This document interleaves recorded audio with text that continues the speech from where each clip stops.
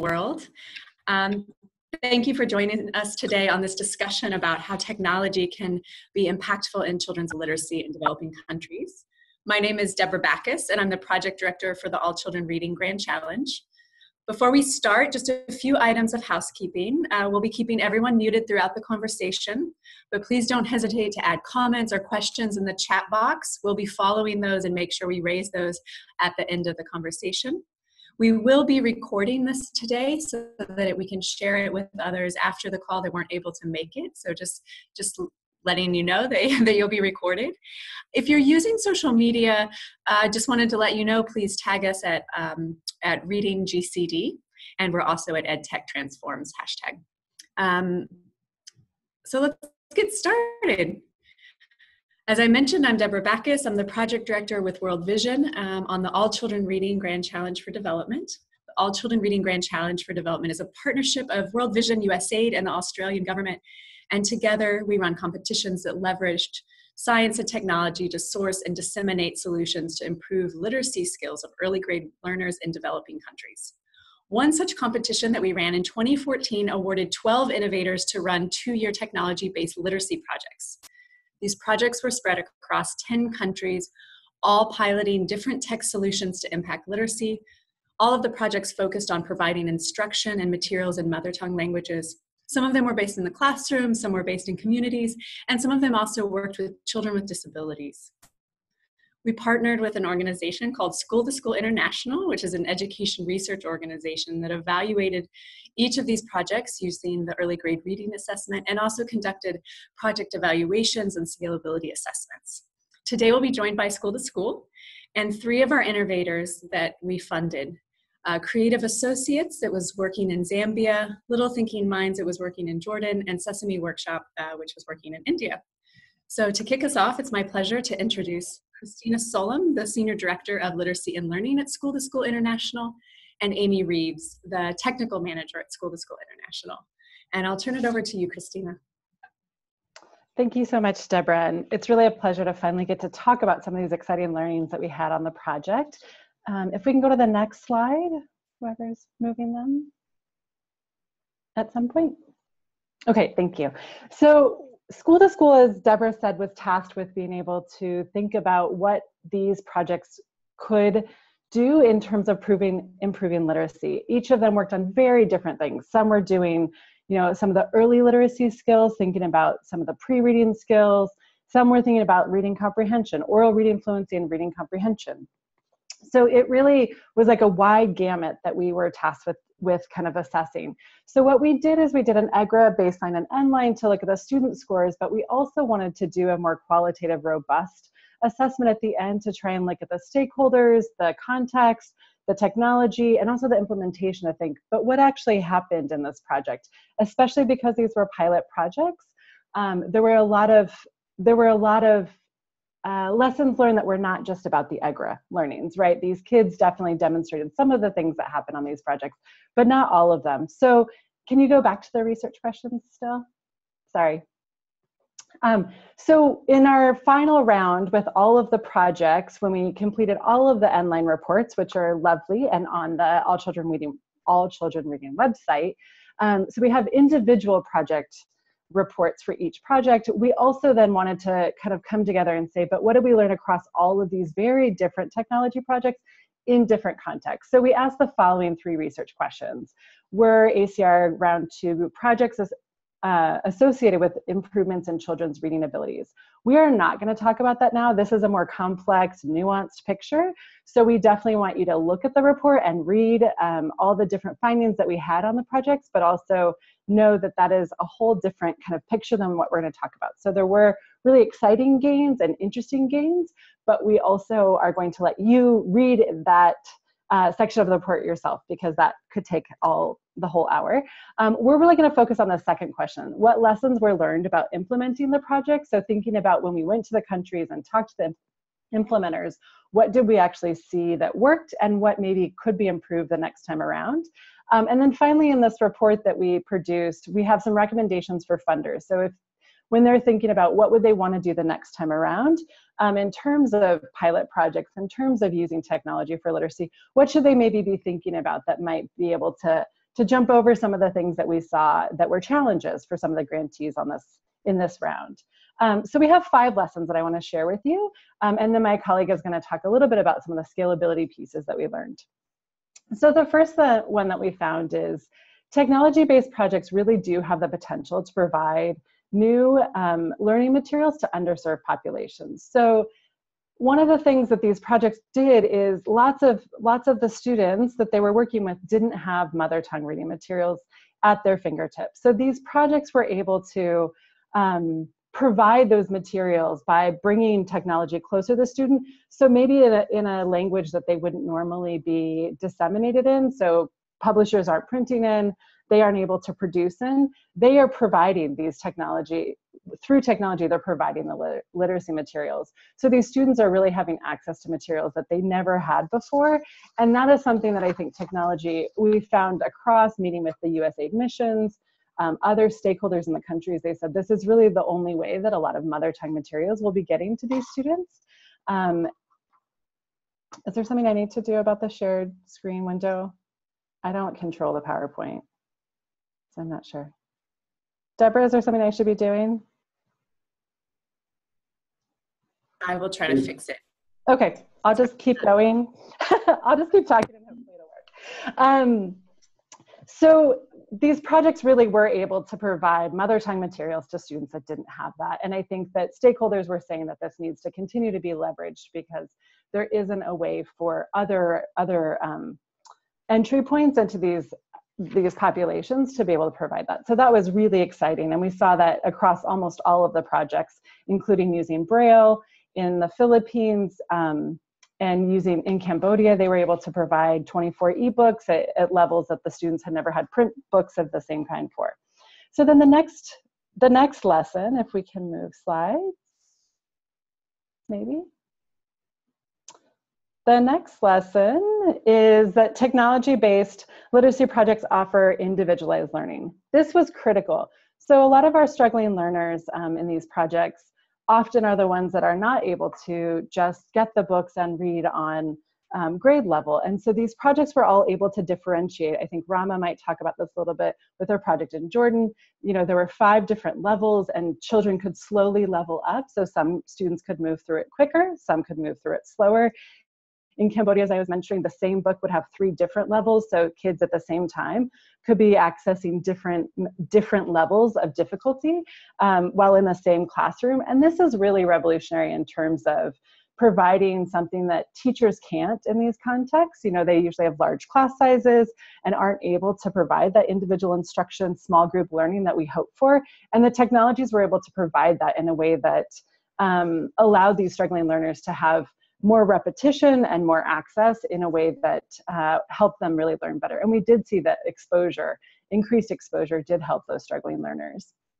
The third thing that we found is these projects really do um, have the potential to track those experiences as well as we know, you know, when we use our smartphones, everybody knows what we've been accessing you know we see the ads later because they know what what websites we go to the same is true for these learning um, apps you know all the content that they access and how long they access the content. And if they did the quizzes, can be tracked. We do have that technology, but it proved really difficult for many of the projects to actually get that up and running and ready in time because they were also building the, the content, the books, you know, all the different pieces of these projects and they were short.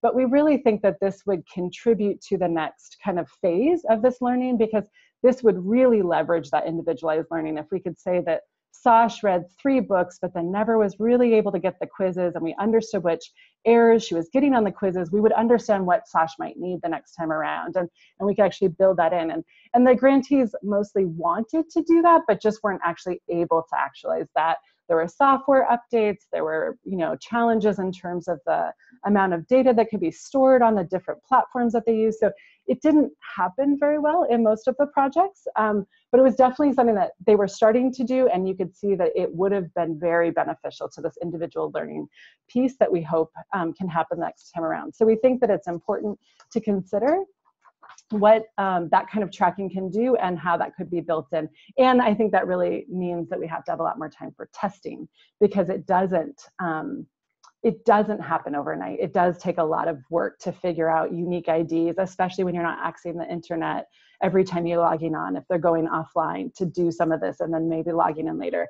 So it's really something that we saw them struggle with, but also was like a real potential in the future. Um, the fourth one is that the quality of the hardware and the software, this maybe seems basic, but it's a really critical piece. The quality of that software and hardware is really critical to the um, to the delivery of this content. So you could have great literacy content, but if the software is not easy for the children to maneuver through, if it doesn't actually, if it's not intuitive enough for the adults to help troubleshoot when the kids don't know what to do, then the software doesn't get used as well and gets put on the shelf. The other thing is the hardware was really challenging for some projects. Some projects were hoping to use the soft the hardware that families already had, maybe a smartphone that they already owned, or desktop computers in a school in the case of Jordan. And then when the project showed up, those those hardware um, specifications weren't up to par for the software that they needed to actually use.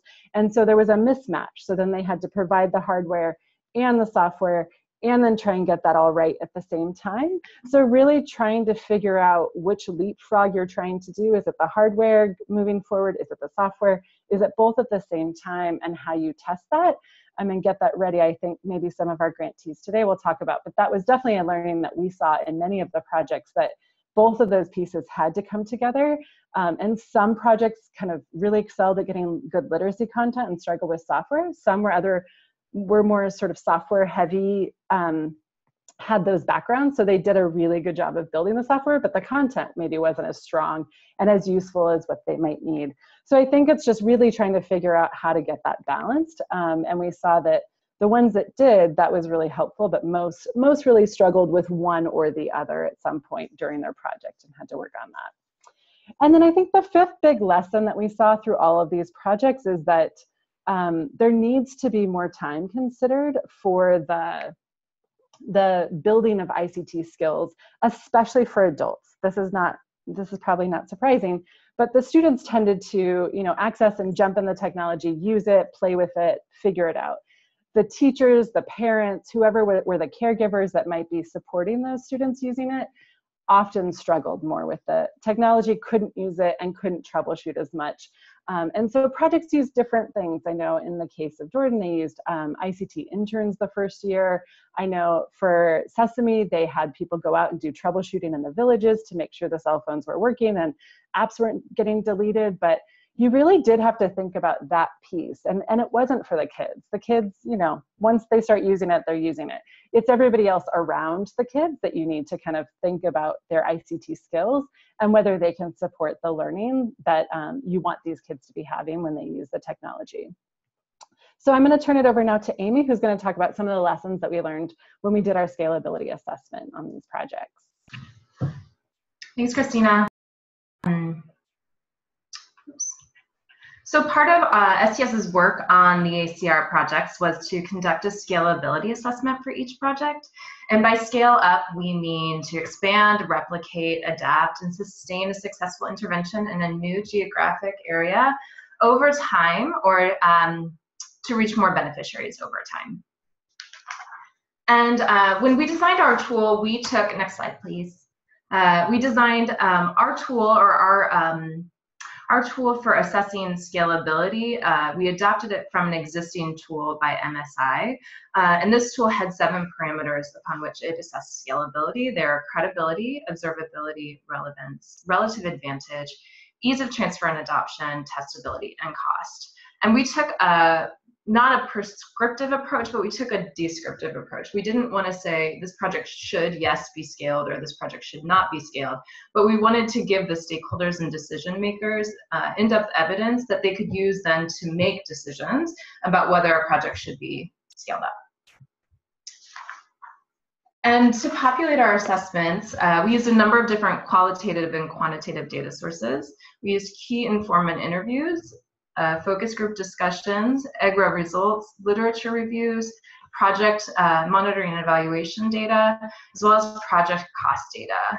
And when we uh, populated the uh, scalability assessments in each project's end of project evaluation report, we presented a summary of the evidence from each of those data sources under all of the seven parameters that I mentioned before. And then we provided a descriptive conclusion underneath each parameter about the feasibility of scale up. Again, these were descriptive conclusions. Um, they weren't, yes, uh, project should be scaled or no, it shouldn't. And then when we came to the summative report, which is the report that we're that Christy and I have been discussing today, uh, we took all of those descriptive conclusions from all of the projects and we codified the conclusions into three different categories. Scaling is easier, scaling is somewhat easy, more information is needed, or scaling is harder. And we did this so we could identify trends across the projects underneath each of these seven parameters. Uh, and I'm going to talk about a couple of these trends. Um, and then I would encourage you all, as Christina mentioned, to reference the end of project reports, um, not only to see the scalability assessment results for each of the projects, but also to see all the robust EGRA findings. Um, so credibility, by credibility we mean do stakeholders believe the model has a strong evidence base? And under this parameter, we found that implementers that utilized existing evidence or theoretical knowledge about the efficacy of a specific component, literacy approach, or technology had higher credibility for scale. In other words, projects appeared easier to scale if they designed their model by building on an existing evidence base, both in terms of the literacy intervention that they choose as well as the technology. And the next parameter is uh, observability. And by this we mean, uh, is there proof that the project shows efficacy or impact? And do the stakeholders value the evidence? And we found uh, that positive EGRA results and stakeholder feedback contributed to high ratings of the observability of the interventions. So most of the scalability ratings for the projects under this parameter were scalability is easier or somewhat easy. Uh, for relevance, we mean is the intervention relevant to the context in which it is being implemented? Does it address a problem that is recognizable and considered important by the stakeholders? And for most projects, we found there was strong evidence that the interventions were relevant and that they addressed uh, a recognizable literacy problem. Uh, so we found that there was really quite a fairly good match between the needs of the population stakeholder priorities and the interventions delivered by the by the grantees. And finally, for testability, we mean how easy would it be for potential adopters to test the model if it was piloted in a new context? Um, and we found that as potential adopters would need to invest in update, updating project models, the potential adopters would need to invest significant resources and time to test these projects in these new contexts. Uh, so most projects under this parameter had a rating of scalability somewhat easy or scalability is harder. Um, and so that's all I have for now. But again, I'm going to plug the reports again. Um, they're really robust, they're really complex um, and nuanced. So we encourage you all to um, to take a look at those and and um, and let us know if you have any questions. Thanks so much, Amy and Christina. Um, now I wanted to turn it over to one of the projects so they can talk to how the project was run and um, some of these scalability components. I'll turn it over to Ian Kishore. He's the director of creative of the Creative Development Lab at Creative Associates International, and they had a project in Zambia called Our Way of Staying. So I'll turn it over to you, Ian. Thanks, Deborah. Um, I'm really happy to talk about uh, which uh, in Chinyanja, which is a language in a local language in Zambia, means our way of staying. Um, and uh, the project was implemented uh, with the, the instructional uh, systems and governance practice area at Creative. Um, and uh, we can jump over to the next slide so we can get into the meat of it. Um, so the model and the, uh, the, the, logic as to why we were doing this project was that having worked in Zambia, uh, we have witnessed that there's really no local language materials outside schools or even at schools. As you can see, 58% uh, have no uh, local, like local language materials at home or school. Uh, to begin with, the literacy levels were really low, and uh, we were trying to identify assets that we could actually use to bring in uh, uh, content into into homes. And we found that cell phone penetration is pretty high. So this is basic phone penetration, as you can see, is 80%. So given these parameters, the the theory of change that we came up with is that if we are to develop local stories uh, that are culturally relevant and uh, appropriate to the target age of the uh, of the children uh, we are interested in, uh, and then we distribute this via SMS, which is which is relatively cheap and is a way to actually get to is a way of actually interacting with the basic phone. Um, and we send this to parents or caregivers, uh, then the parents and caregivers will uh, likely spend uh, it shared with their children and spend time with them, uh, reading at home, which will increase uh, uh, reading attitudes and overall create a culture of reading and lead to an improvement in reading outcomes. So with that theory of change, we we set about actually running an experiment in um, in eastern Zambia. So you can move to the next slide in which we uh, uh, basically targeted uh, 1,100 uh, uh, students in grade two and three from uh, 40 different communities in Chipata and Lundazi. And we basically, over a course of actually nine months, exposed them to stories that got that into them every week. form of SMS messages that were another part of the story on Wednesday and then another part on uh, Friday. Um, and uh, we also on the on the last day submitted uh, uh, uh basically a comprehension question um, so that they could or a discussion question so that they can have a conversation. Um, this, along with the, sending this via SMS, we also had a, a, voice line or an IVR, interactive voice response, so that uh, uh, they could basically call in for free and listen to the story. So the goal of this was to particularly help if uh, the parents were not necessarily illiterate. Uh, you could have actually a voice uh, that accompanied the story as well.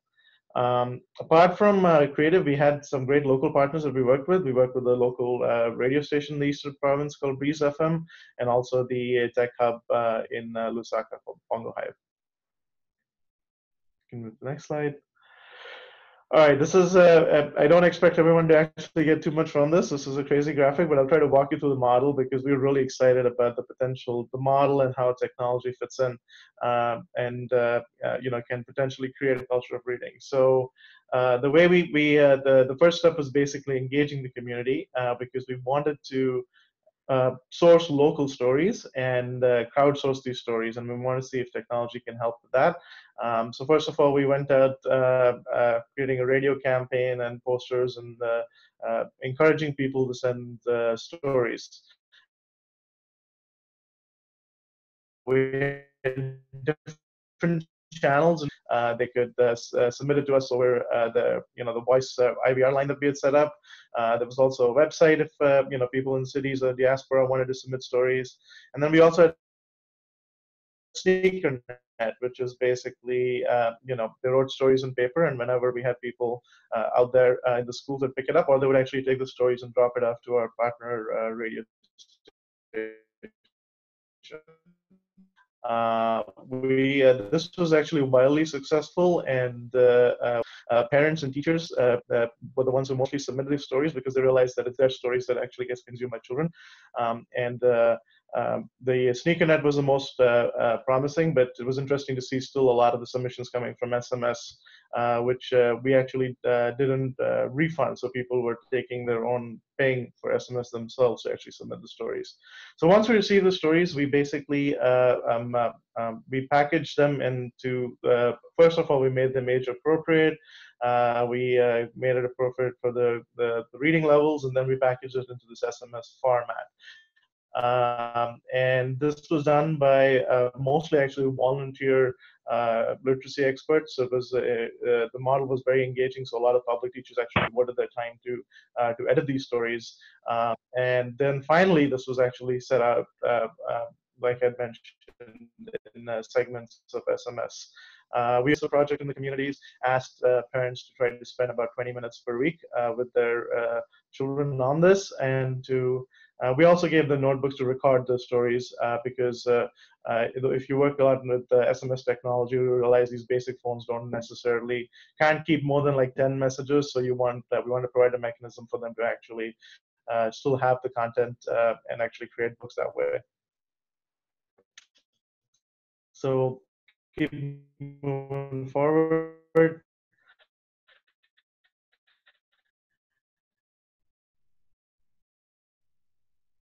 Ian, I think we're losing you a little bit. Yeah. The next slide.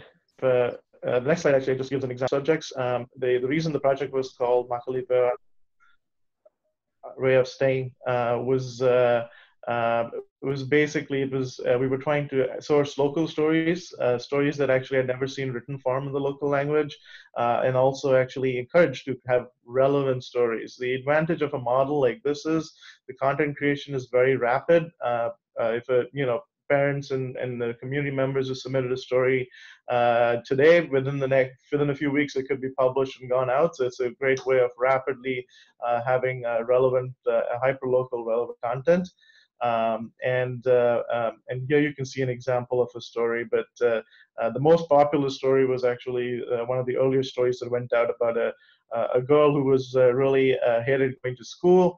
And then turns out that one day a teacher had a conversation with her and um, and uh, showed her an example of, uh, of a girl who had uh, gone to school and and, and and done great things and uh, so the girl got more interested in going to school and uh, turned out to be a really important person in Zambia. So that was widely popular among kids, and uh, uh there were different themes we explored similar to that. So you can go to the next page. Um,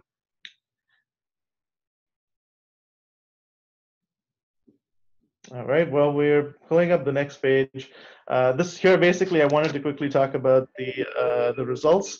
Um, oops, my alarm just went off, so I'll be quick about this. Um, so the, the, uh, there was really high uptake. We were actually pleasantly surprised by the uptake of, uh, of the, the project. Um, almost 100% uh, of uh, parents basically read the, uh, you know, the kids read the story at least once a week.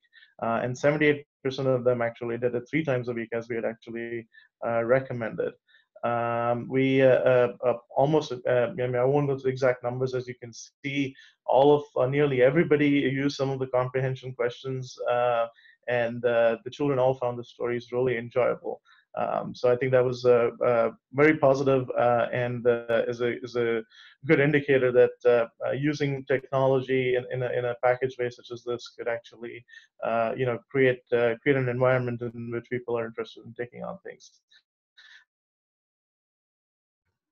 I want to quickly talk about the uh, the results that were conducted from a, a third-party evaluator, which was NORC at the University of Chicago. Uh, they mostly tested uh, EGRA uh, and some other uh, um, uh, uptake and attitudes, and they found that particularly around the three facets of the EGRA, which is non-word reading, um, or reading fluency and reading comprehension. There was uh, uh, literacy gains of, as you can see, effect sizes from 0.2 to 0.7 to 7, which, uh, which effectively meant that uh, those of the who were given the treatment were uh, had double the uh, the progress in in in literacy than those who were in the control group during the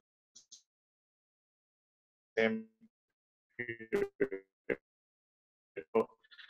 Uh, the was really promising to us, um, as well as with the, uh, the, uh, the, the, I think the most interesting thing for me was the positive spillover effects.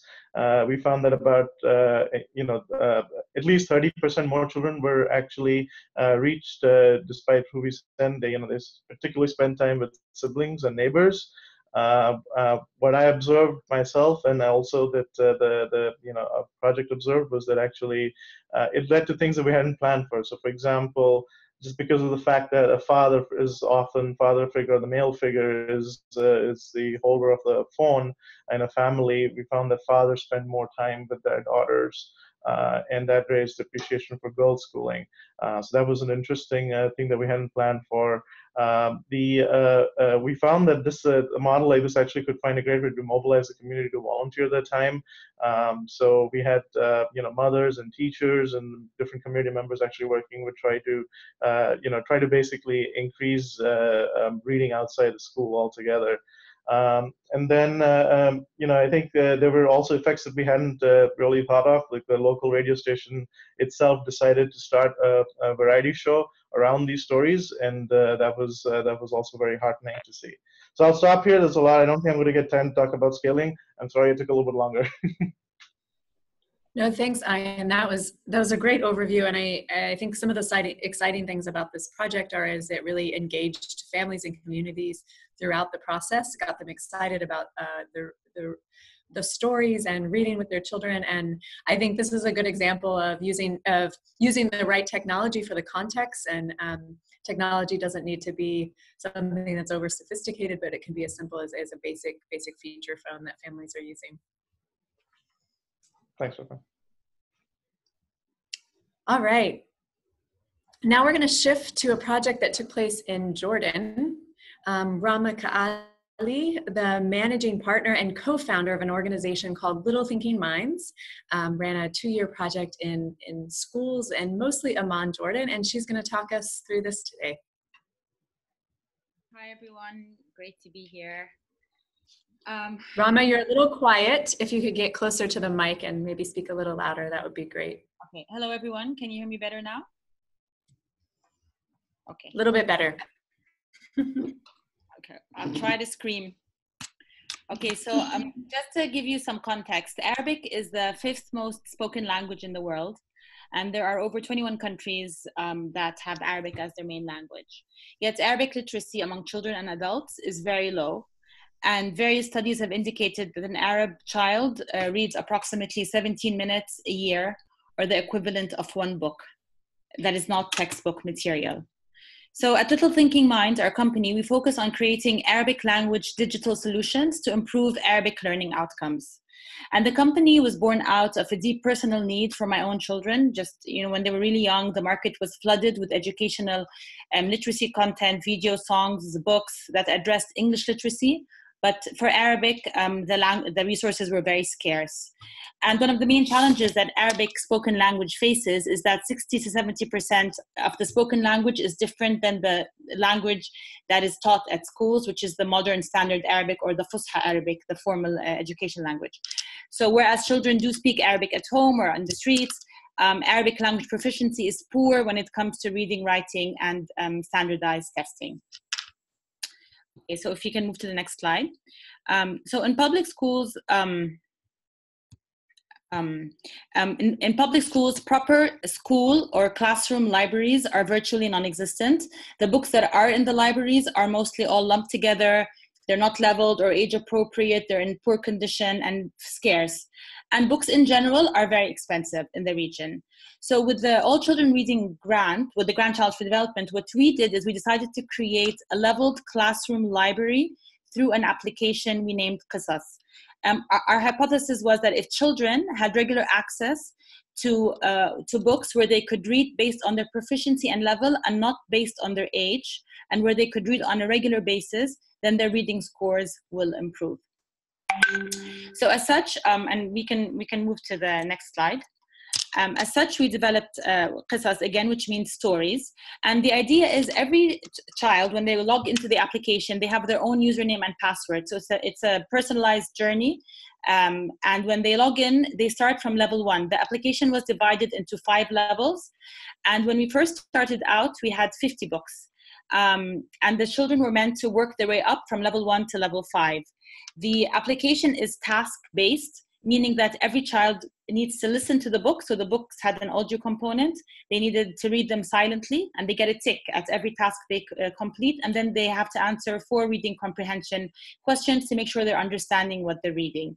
Um, but they were reading so well that we had to increase the number of books from 50 to 100 and then by the end of the project to 150 books um, the project the, the product was made to be super cost effective where children end up having a classroom library in the palm of their hand that they could constantly refer to at the cost of buying only one book um, and um, okay so the application, of course, was delivered on tablets. Um, the first year we implemented this to after school literacy clubs.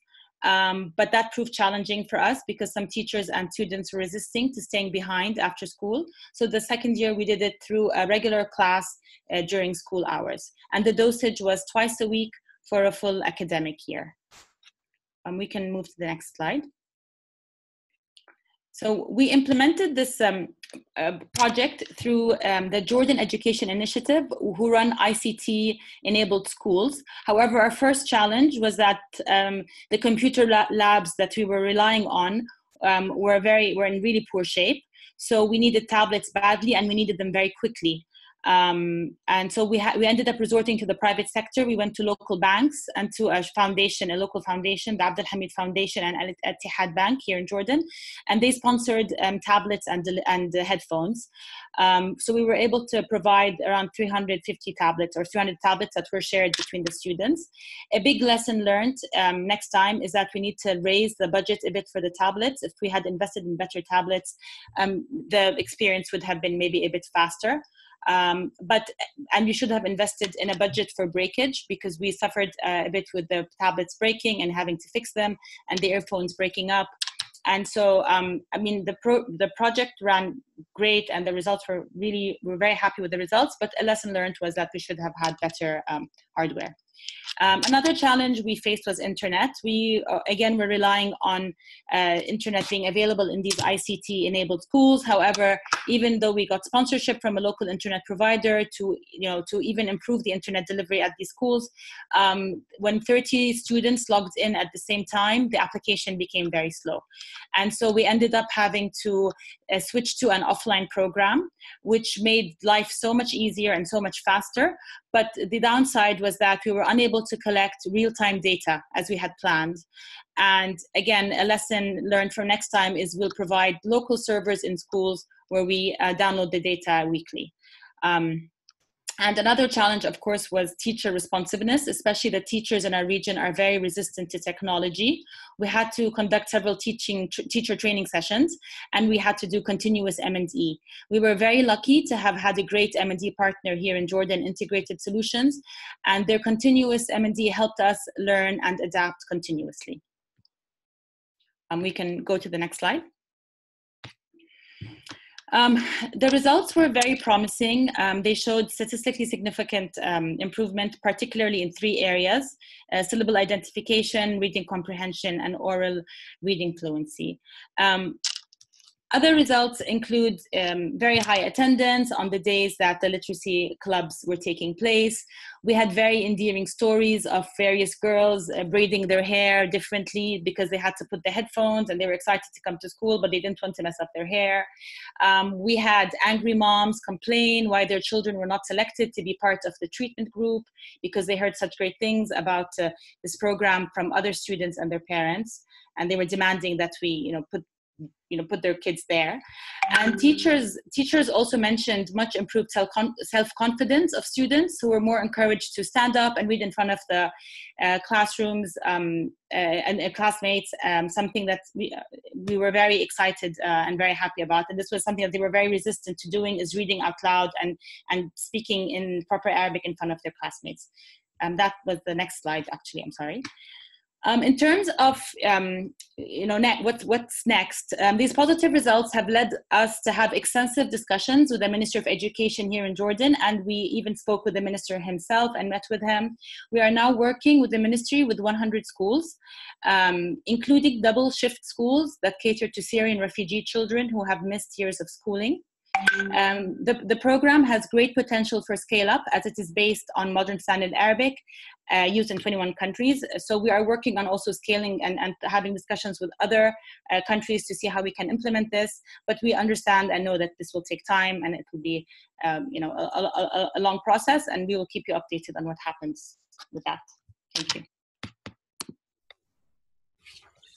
Great, thank you so much, Rama. it was good to hear about, about the project and also to hear about um, where the project is going. Um, can you just mention briefly how, how important having research was to moving your project forward and scaling um, from 10 schools or 20 schools to 100 schools?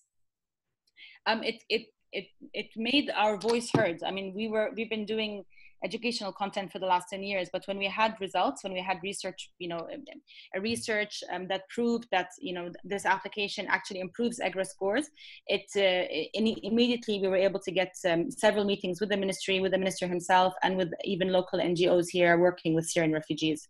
So um, it, it, was very having research based um, uh, having a, you know a proven application um, with proper research was essential for us being able to scale up in Jordan. Great. Thanks, Rama.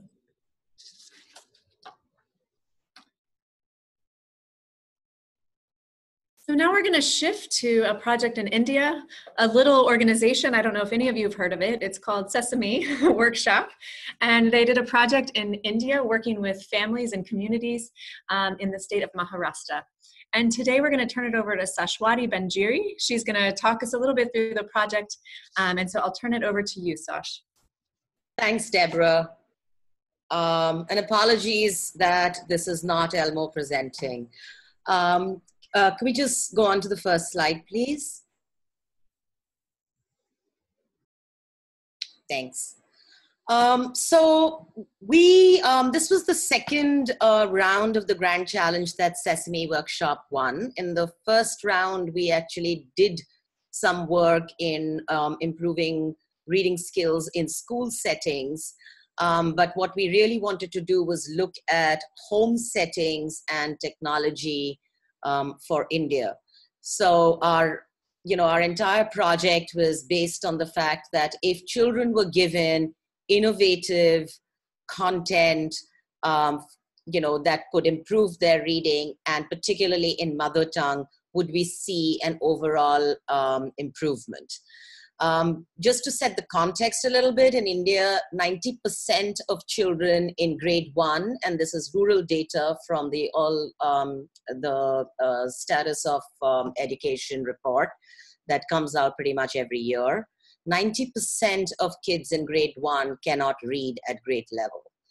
Um, and the other factoid that I want to highlight here is that India has 22 official languages and a lot of the content that is available here is not really available in regional um, languages and mother tongue, particularly on the digital platform.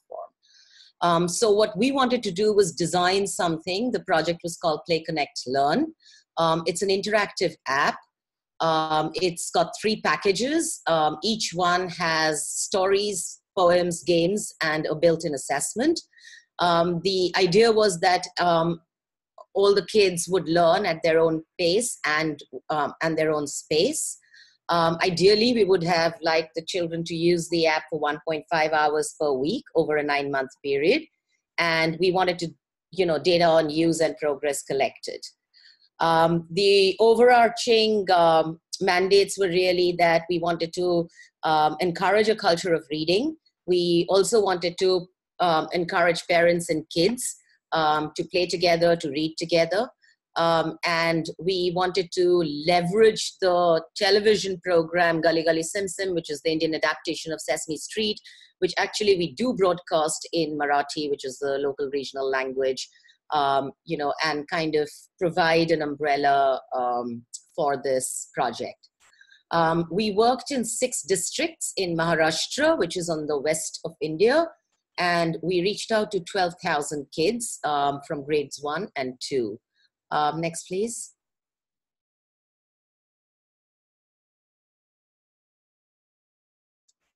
Thanks.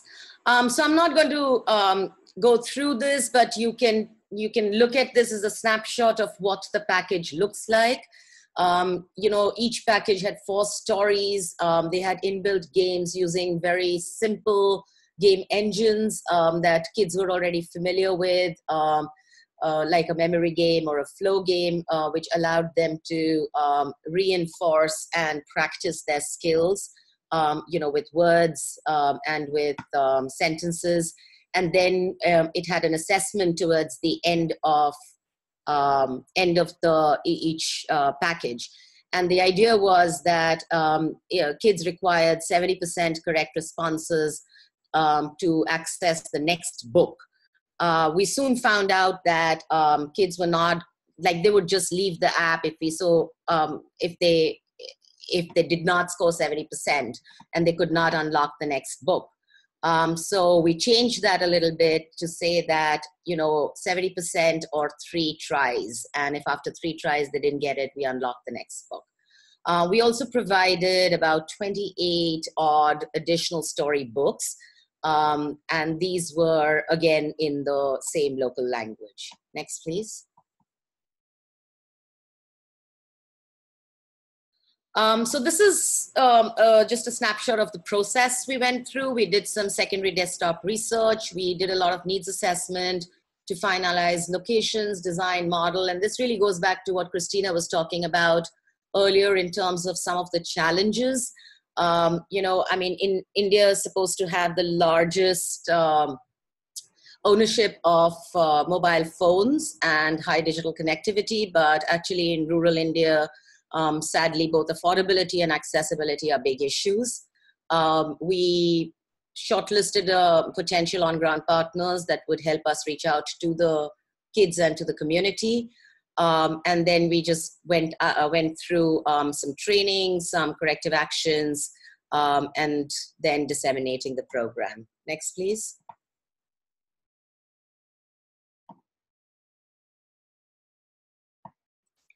Um, so these were some of our challenges um, and you know what we had to do in order to kind of come up with solutions. So like i said connectivity and accessibility to high-end smartphones were limited in the poorer populations. And one of the challenges as a content development organization who develop technology products always face and i always say this do we design for the present or do we design for the future? Um, and the the smartphones available in India are predominantly Android. Um, a lot of them are Chinese Android smartphones. Each of them work very differently. Um, and when we do test apps, it's impossible for us to test in 500 different versions that's available in the market. Um, and that requires considerable um, resources. Um, so we want what we wanted to do was make sure that the application worked on low end smartphones and was available offline. Um, so we did that. Um, we also found that children got limited time to engage with the application as um, the phones were mostly owned by fathers who were at work. Uh, we did have to supplement this through on ground visits um, so that we could educate the parents about the application and how it could help their child um, and encourage them to use it together with the children. And we did see a big shift.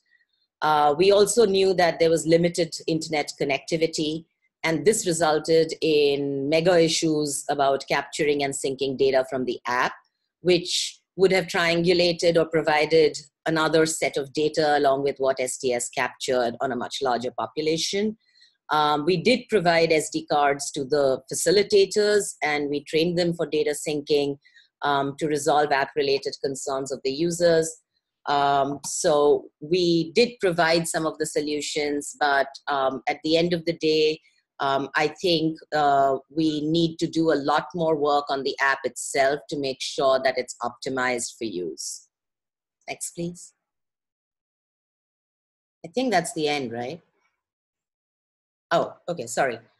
Um, so um, STS did the evaluation, and we saw that the app actually had, you know, we had significant improvements in four out of the six EGRA outcomes that were tested. Um, additionally, we also found that 64% parents reported that their children use the app once every day, and 84% children had accessed and read the additional PDF books in the app. And this has been very, very encouraging um, to us because we are also hearing back from our partners and from the community about the ripple effect this has had um, within um, the overall community. Schools apparently have bought projectors um, and so that they can get this app available to all the children in the classroom. So even though it wasn't designed as a classroom application, um, in the future when we are really looking at uh, revising the app, one of the things we are looking at doing is actually having an HTML5 version. Um, you know, as more and more schools get digitized in India, um, we're hoping that this app would find um, a space within that um, just to uh, look at scalability. Next, please.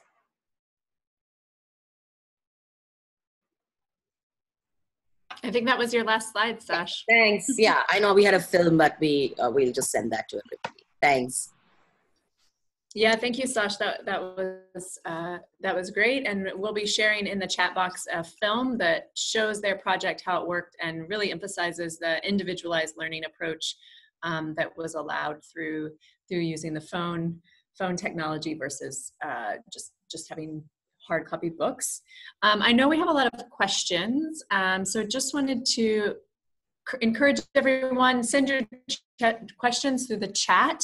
Um, and then um, I'll turn it over to my colleague, Michelle, who's gonna highlight some of the questions that we have in the chat. Yeah, I know um, a few of you had, we had some audio issues with Ian's presentation, so I just wanted to clarify some of the things that he said earlier. I know there was a question about the intervals of the stories being sent out, um, and we answered some of that in the chat, but for those of you who didn't see it, just to clarify, the stories were broken into three segments and sent three times a week. One segment on Monday, the next segment on Wednesday, and the final segment on Friday, and there were 140 characters per segment, as you would with SMS. And also a local literacy expert took the submitted stories and adapted them from, for SMS to ensure proper story structure and leveling.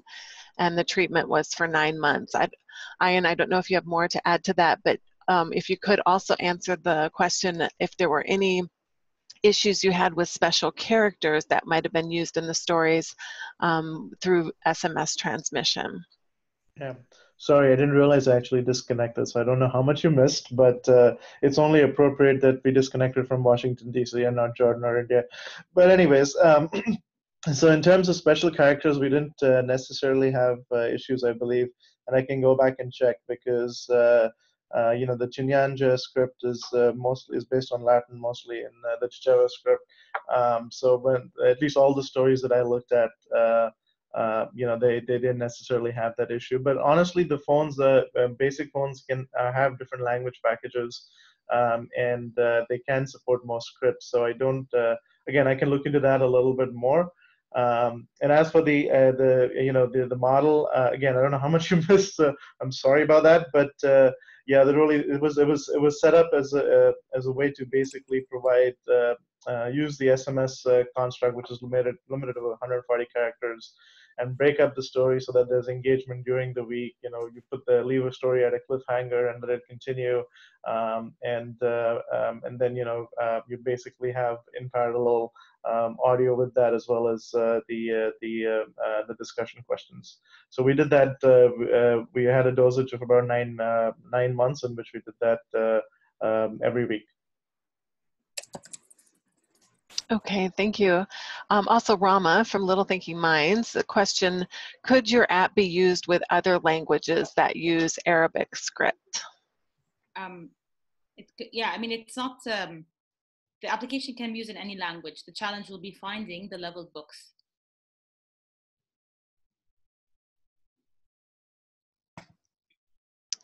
So Rama, just to clarify, many of the books that you have were sourced from Arabic publishers. Um, so they weren't books that were created by Little Thinking Minds, but were curated and put on the platform. Exactly. And then the words light up. So and so then they were recorded by local um, by lo local voice recording people. And so and then when the and for the audio part, when the books were read out loud, um, the the words highlight on the screen. So, and they were highlighted word by word, not letter by letter. And this can, the technology is there. So it's not, um, uh, it, can be done in any language. But again, I, I, I feel the challenge is finding um, the, the level appropriate books for the language we want to tackle.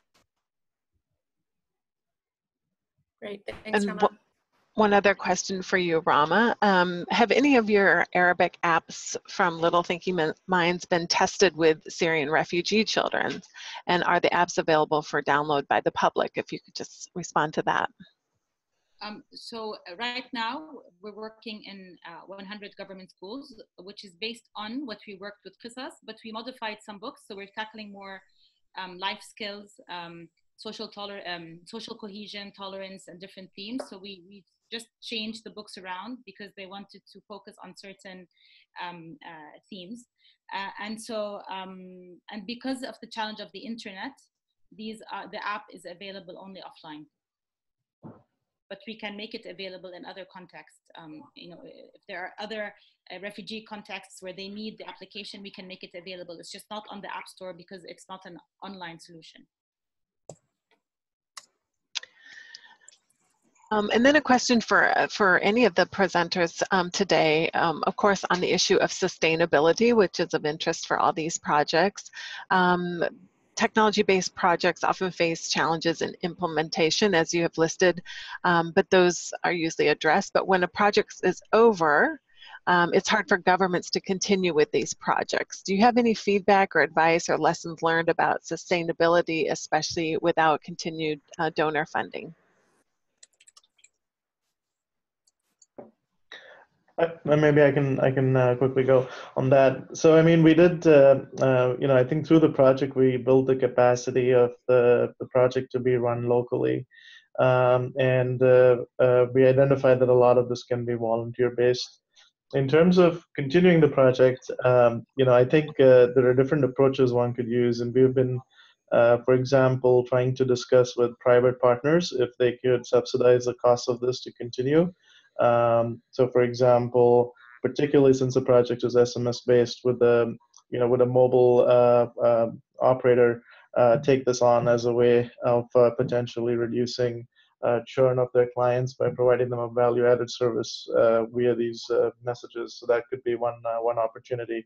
Um, so you know that's at least our you know a little bit on our approach is that you know to begin with we picked uh, picked a technology that was uh, low cost, and the uh, the assessment also had um, parameters on how much this would cost to scale up. Um, and uh, you know, I, I, think it's it's valuable for every project to to also go through an exercise of trying to shave off uh, from the learnings uh, what the cost would be and what the core of the the offering is to see really what the you know what it costs to get it get it out to scale. So I'll stop, but I just want to share some of the things that we're thinking about. Thanks, and um, and Deborah, if I if I could talk a little bit because I'm also getting a few questions on the chat box here. Um, so how are we looking to scale it up? I think the first thing we are doing is looking at seeking some funding so that we can improve the app. We need to optimize the app for easier download, um, you know, and we also do want to make a version of it that would work on desktops. Um, so there are two or three things we are looking at for scale and sustainability. One is that the government of India has actually um, started digitizing a lot of primary schools, and particularly in Maharashtra, the state we worked in, there are um, you know 15,000 primary schools have already um, been digitized, um, and they have also started an e-portal. So the idea is that if we have a web version um, of the app, then to make it available so that these schools can download. So that's an easy entry point. Um, the second way we are looking at is to encourage discoverability and downloading. Um, and this we would like to do um, via our television program. We have um, close to 2.2 million kids who actually see our Marathi program on a daily basis in Maharashtra. And we wanted to tag a slate at the end of it encouraging kids to download this app or encouraging parents to download their app for the kids, um, as well as doing some very targeted um, online YouTube type of and Google Ad type of activities, um, getting um, people to kind of download it. Um, we haven't done any of this, but this is something that we would like to do in the future. Um, great, thanks, Dash. I just wanted to, I know we're close on time, but I wanted to pose one more question to STS as we, as we wrap up. Christina, Amy, I just wanted to ask how you chose this specific scalability assessment and how you would recommend to others to use with this when um, implementing technology-based uh, literacy projects or reading projects or education projects, anything that, that might be leveraging technology in that way. Amy, do you want to tackle that or you want me to jump in?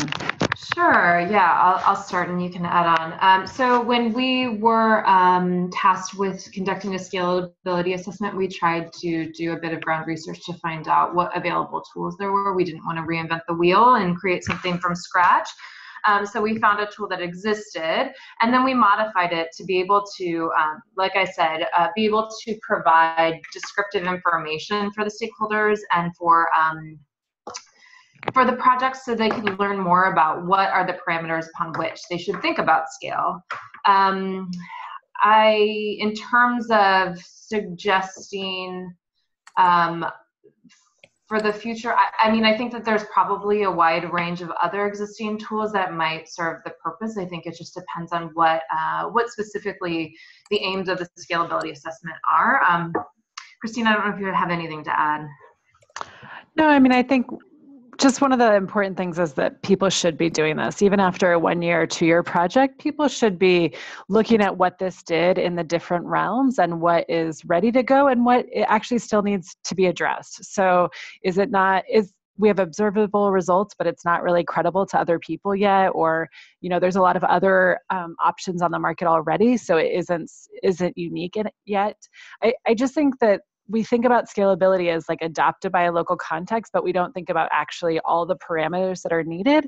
And so I would just really encourage people to think about doing a scalability assessment. I think the MSI one that we used was great. Um, and I would encourage others to even self assess after you do something to figure out where you're hitting the mark and where you actually need to boost it a bit if you are going to have a more sustainable long term project. Um, and so I, and especially with technology. So yeah, I would just encourage projects to do it.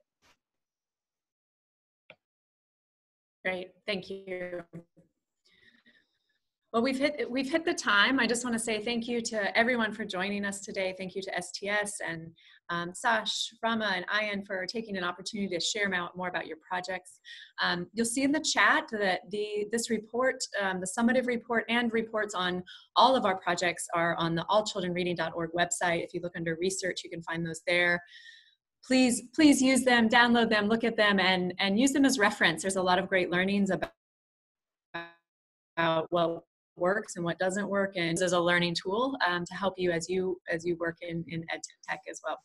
So thank you everyone for joining. Um, we'll we'll be sending out uh, the recorded presentation so you can review that that. I think many of the speakers have also put their, their emails and contact information in the chat.